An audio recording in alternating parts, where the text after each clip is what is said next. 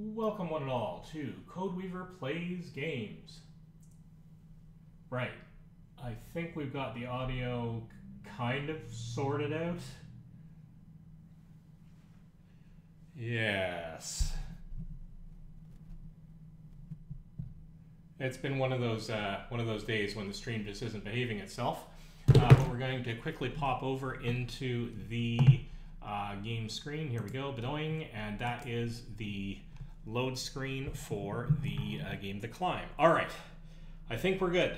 I think we're golden. I may have to do one more audio check when we're actually in game. Quick ramble, because I always do these rambles before I play The Climb. This was originally Rift S game, or Rift game, I can't remember which one, way back in the day. Um, it runs on the PC, uh, therefore it can also be played on Quest uh, 2 and Quest 3 and Quest Pro, all the quests, as far as I know. Uh, so this is not going to push the hardware limits of uh, the Quest 3. That's not the test of this. I am using the Quest 3 for my display. It's it's quite pretty. I'm getting some good uh, image throughput. Looks pretty good. Um, it won't be pushing boundaries in that department. But uh, what I am intending to do, first of all, I need to get a little exercise, get my body moving, kind of enjoy the game. I quite like this game and its successor, The Climb 2 and I'm uh, playing it via the PC version rather than any standalone version because the PC can push out a little bit more, and the uh, software just has slightly better visuals for some of the foliage and ambiance and critters climbing the and all that kind of good stuff. Um, that's the primary reason I'm using it, no other reason. So um, I'm actually cabled up because I don't have a fast enough network connection to do um, to do uh, all of this wirelessly. I'm going to definitely have to upgrade my wireless uh, gear at some point to take advantage of that but it works pretty well. So it's doing PC Link, um, and probably getting about uh, two gigabits per second over the wire. So that too will probably have to be upgraded to take advantage of all the PC VR goodness for Quest 3. VR is expensive unless you're going purely standalone, and then the Quest line of devices is moderately affordable. Anyway, let's not keep dwelling on that. The big thing about this, though, as I mentioned in the opening to this, is I have paired some Quest Pro controllers to this. That's arguably the previous generation Quest gear, except it was quite an advanced sort of meant for industry Quest gear, I think. Um, you know, office stuff, I guess. Uh, but the Quest Pro controllers uh, can be used on the Quest 3. And the reason I'm doing this isn't uh, because the Quest 3 controllers are bad, they're really quite good, but it's because the Quest Pro controllers have a feature that the Quest 3 controllers do not, and that's that they are self tracked. They have the same tracking technology basically as the headset itself, which means that they don't lose tracking when they go behind my back or above my head or wherever. They track the room just like the headset does. Whereas on the Quest 3 controllers, like the original Quest 2 controllers, they are tracked by the headset, which means that if they get outside of the range of the headset's cameras, they the headset software has to sort of try to fake where the controllers are, guess where they are, make some good judgment calls. Um, and uh, most of the time that works really, really well. Sometimes it's a little bit janky. It just depends on what you're doing. Now, for a lot of stuff, when you're in front, you're firing guns, you're moving around, you're skiing, you're running, whatever. It doesn't really matter because your controls are mostly up in front. For certain games, though, like this, sometimes your hand is up and over your head and behind you as you're grabbing onto rocks and stuff. I'm going to take, uh, now I've done this test back when I played this on the Quest 2 and then moved on to the Quest Pro to check that out. Uh, I want to see whether or not the Quest Pro's controllers can be used for the Quest 3, since they do seem to sync up, um, just as well. Because you can buy these special controllers independent of the Quest Pro. They're expensive, but hey, if you're playing in the VR realm, some people want that little extra kick. And, uh, and I quite like the idea of the self tracking. So let's give it a go, shall we? Just to see whether or not it still plays okay. So what am I going to do for this? I'm going to go into, I think, the Alps. Now I've unlocked all of these, I think. I think I've done uh, the hard mode as well. I'm going to pick one. I'm just going to say medium at random. Sure. Uh, let's hit play. All right, so here we are. We're loading it. I'm going to do a quick audio check once we're inside to make sure that the game's like in, um, uh, ambience, ambient, environmental audio is not completely overwhelming the stream. So let's check this out.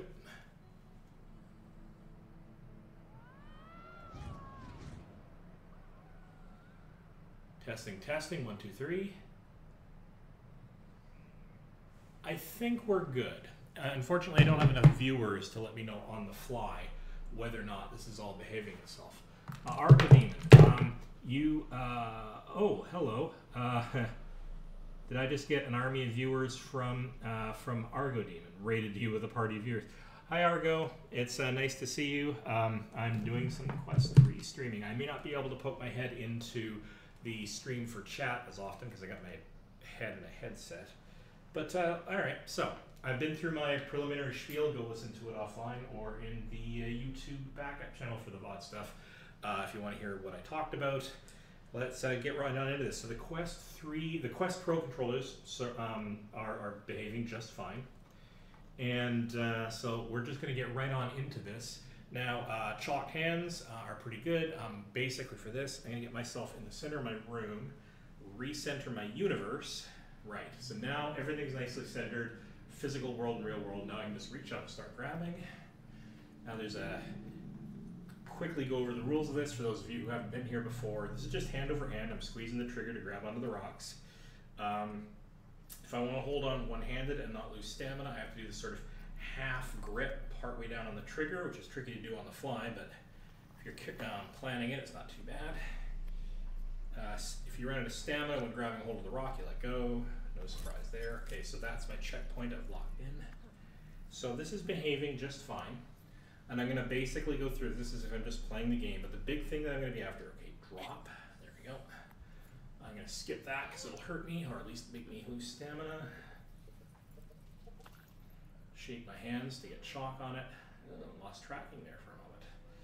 I did have uh, the headset warn me um, that it might be a little bit low light in my room at present to track properly, but uh, we'll just try to make do. Uh, Okay.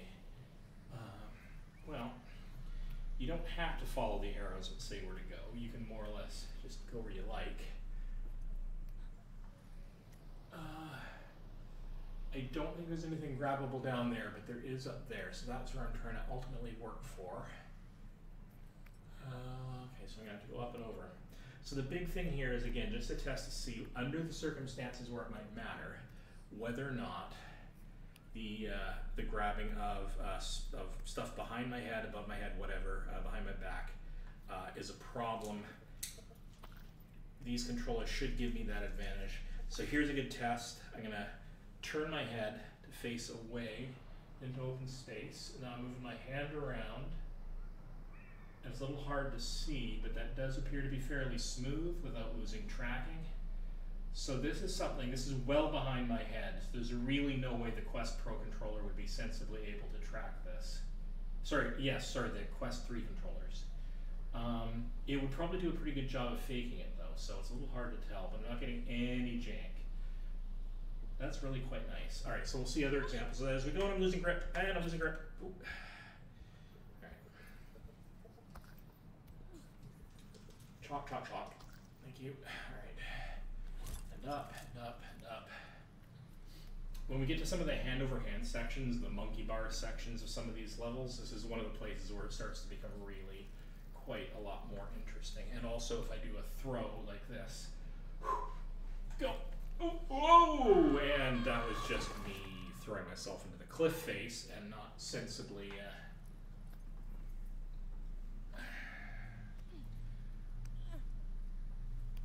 Problem is, uh, there's no lower body on this thing, or at least it fakes one. So if you throw yourself and clip something with what's supposed to be your lower body, that was a nice throw. All right, so here again. All right. Oh, no, losing grip. Again, I was holding on with one hand, so there's that problem where I have to do that sort of, I call it the half puck grip because that little puck um, thing in there remember a half trigger grip, I think is what it's called in the actual game, or in any case. So here is another position where it could be relevant that the controllers are behind me, is that when I go to do this throw,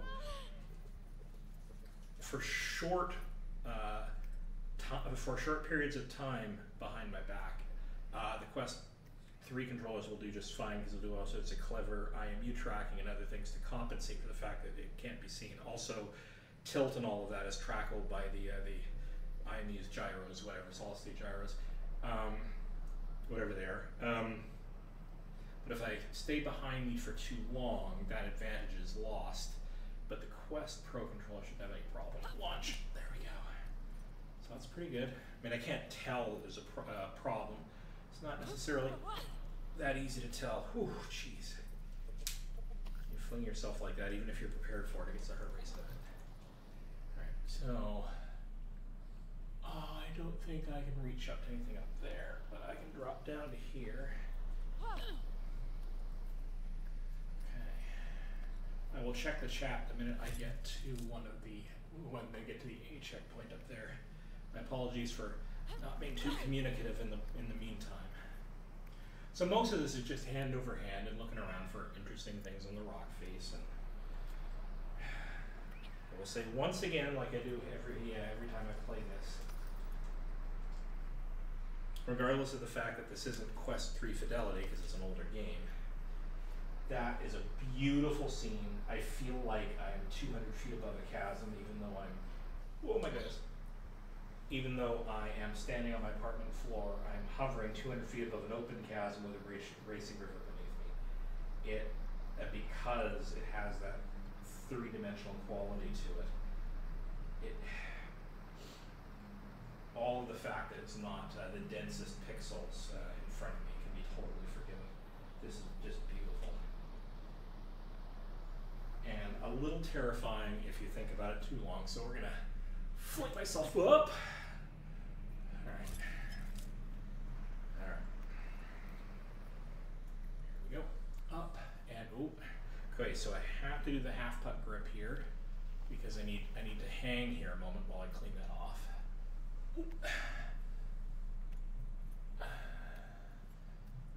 And yes, you can argue it's not real. Oh, that's going to break because it's a weak rock. It's not real rock climbing, blah, blah, blah. Um, you'd be putting in a lot more effort if you're really climbing rocks. Not arguing that. really not.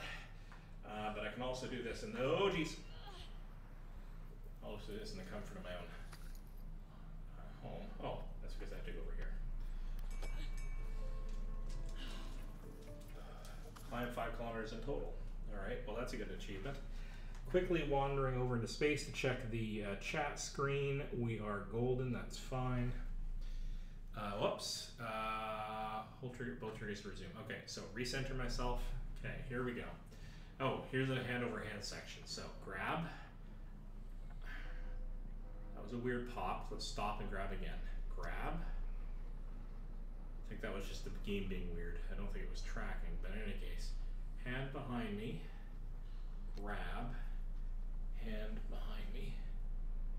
So here is where it would very uh, commonly break on the Quest Pro, sorry, on the Quest 3 controls. Not break, it would be perhaps slightly janky. Now, it would be able to fake it reasonably well because largely the position of my hand is dictated by the tilt of my hand. If I start monkeying with the tilt of my hand in place, and it's, I'm going to fall. Oh. it intersects an object. Yeah, okay. Gotta be careful of that. Alright. Let's try this again. Okay. Fiddling with the orientation of my hand without fiddling with the position. Wiggling it around in position while tilting my hand. Trying to trick this controller into doing something janky. And it's not. It's actually really smooth. Now, again, this is oh, fling and grab. This is an edge case. Most games don't have this kind of a problem. And anything that's sort of uh, maybe office related, like you know work related, probably doesn't have this problem. It might have a problem if you're trying to reach over and smack something, a button, or push away a screen or something in an office environment where you're reaching off and doing something off screen. And with increasing use of haptics to indicate when you're touching things, you know, you reach out and smack something and you feel it and, and, whatever. So you can reach out, like you reach out for a light switch behind you. Um, that would be something hard to do with a Quest 3 controller that the Quest Pro would handle a lot better because of the because of the extra tracking.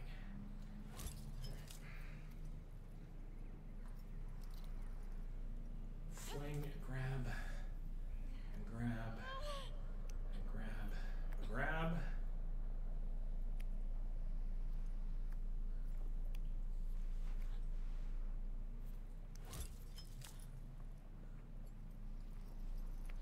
Should we try to climb this? Yes, we can.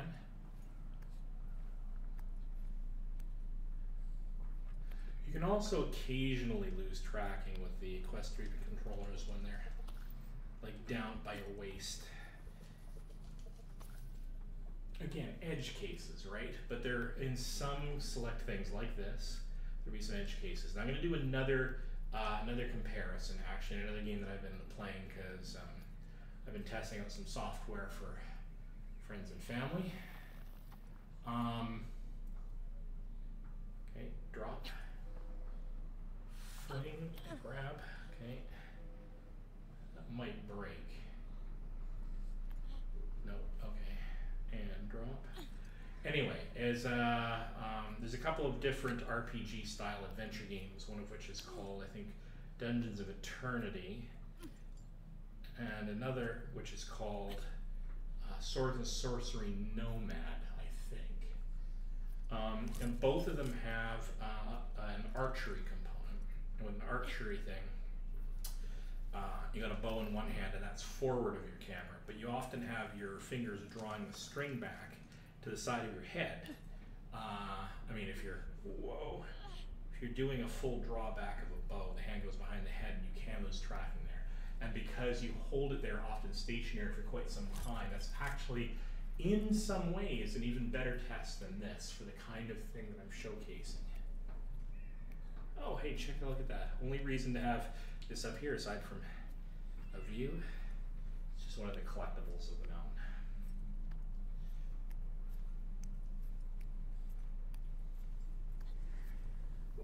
That's a stretch.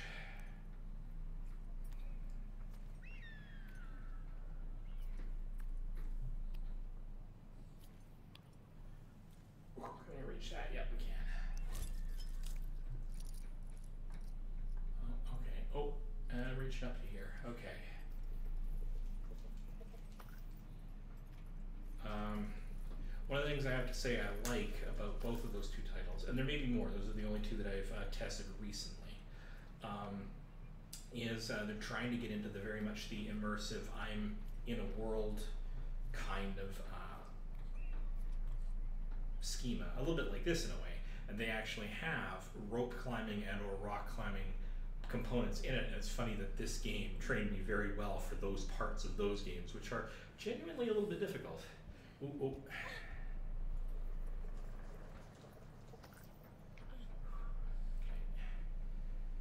Go again. Careful. Check that. Halfway down the trigger. So I gotta fling myself, and this is again where it might become relevant because I want this to be smooth. I'm gonna pre-prepare my grab on this finger. So launch. That was very smooth. That was very, very smooth.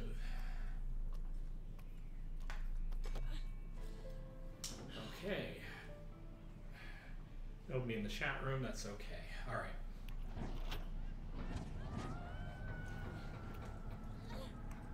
And check that out. We've got uh, squirrel suitors flying from probably it's got to be that peak up there, right? Way the heck up there. Only way they get enough height. Okay, so now we're gonna go under, under. This is this is another one of those places where um, holding on with that back hand, I could again lose sync. Now I showed this as an example when I was using the Quest 3 controllers, not um, just before the holidays. So you can go back and check that on the, the VOD channel, uh, the YouTube channel. You can find a link of that in the, my description for this. And um, okay, here we go. And I think that that was one of the one of those hand over hands is where I demonstrated that you can occasionally get janky behavior. Let's skip that because it's going to hurt. Uh, I'm skip that because it's going to hurt, but we're going to drop to here maybe. Yep.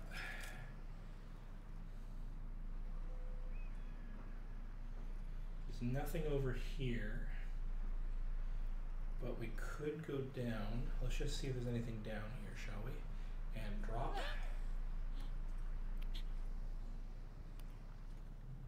Now, you can't have come up from here. So this is just somewhere to climb down to, just to look around.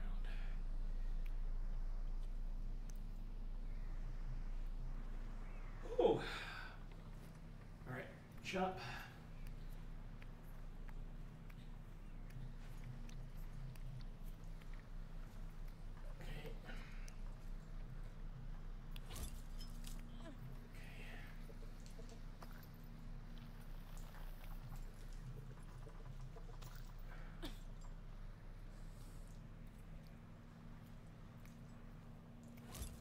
Okay. The game collects lots and lots of statistics on the, the transfers that you're doing.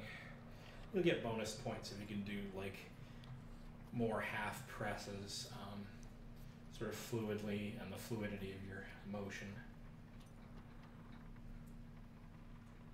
Uh, could I have come up a different way up there? Oh, I guess. Maybe? Because take a look at that. It looks. Alright. I think the last time I did this level, I did this exact thing. I still haven't found that second route yet. Alright, anyway. Hand over hand. So here we go. Hand over hand. Over hand. And again, I'm going back over my head. This is all very, very fluid.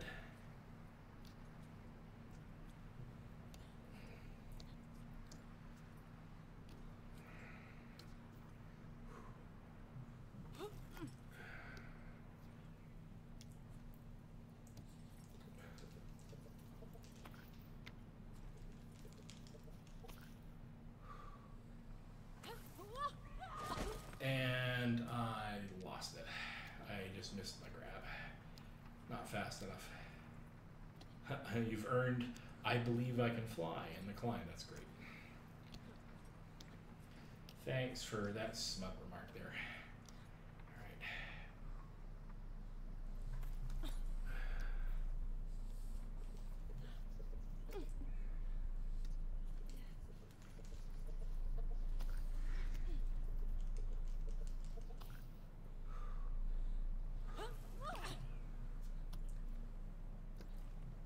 Alright. Hand over hand, hand over hand.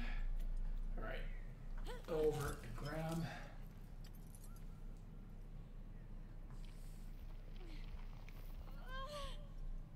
Oh, losing stamina. Gotta be careful of that. And up, here we go, and up, and up, and over, and over.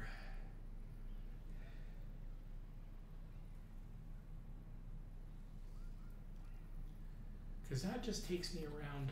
I gotta go over here and check this again. I've done this before, where I come over here and it's like, okay, well, this is all well and good. So somebody could have come up from there and then tried to figure out where to go.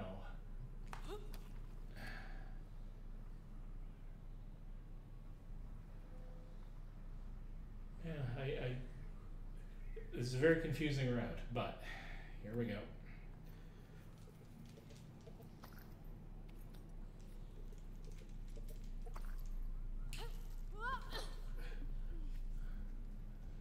That was tense? Yeah? Okay, so we're coming back this way.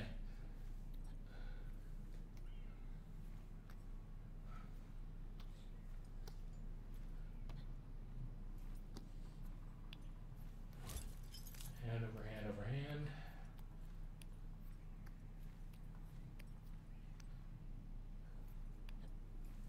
And reach. And launch.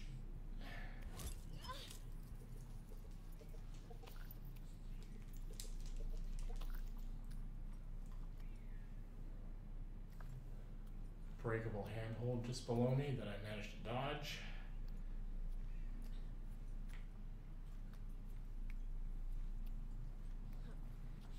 And up we go.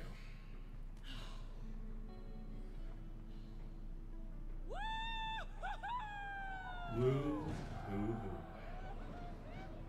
Some celebratory uh, squirrel suitors zipping down from the heights on high. Wish I knew where they were coming from. We also have some eagles, I think. And uh, there may be uh, gliders some celebratory stuff to enjoy while you're on top of the world over here. Okay, so that worked pretty well. All right. So what I'm going to do here is uh, I think I am convinced that that actually behaved uh, better with these controllers. But I, I, wouldn't spend that much money on, on these controls for this one game. Well, maybe I might because I really enjoy this game in a series, but uh, that's uh, that alone is not quite enough to justify it. So what I'm going to do is I'm going to close down the stream. I'm going to start up another one immediately following this, trying to play a little bit of, uh, I think, uh, I think I will start with Dungeons of Eternity, and I'll see if I can side along that into the other one, um, the uh, uh, Swords of Sorcery Nomad. So I will be back shortly. Thanks for joining this this specific short stream. And my outro is always less than fluid. This is CodeWeaver Plays Games. See you in the next stream.